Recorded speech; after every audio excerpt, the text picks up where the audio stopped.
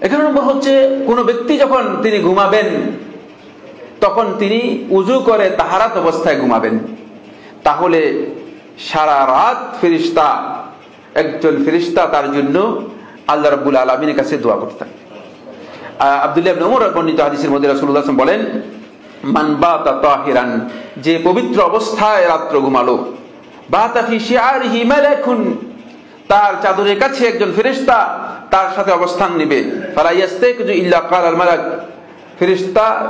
যতক্ষণ পর্যন্ত সে জাগ্রত হবে, ততক্ষণ পর্যন্ত ফেরেশতারা ওই ফেরেশতা তার জন্য দোয়া করবে গফিরলি আবদিকা ফুলান। হে আল্লাহ, তোমার ওই বান্দাকে ক্ষমা করে দাও। যতক্ষণ পর্যন্ত সে এভাবে থাকবে, ততক্ষণ পর্যন্ত এই সবটুকু পাবে।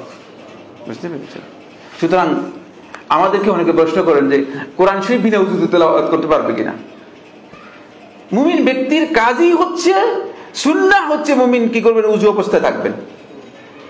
আর আমাদের কাছে এসে প্রশ্ন করেন যে, কোরআন শরীফ বিনা উজুতে পড়তে পারবে কিনা? আমরা চেতনাগত দিক থেকে অনেক সরিয়ে গিয়েছি। বুঝতে পেরেছেন? আমাদের কথা বলছে, উজু নষ্ট হয়ে গেলে আপনি সাথে সাথে উজু করে নেবেন।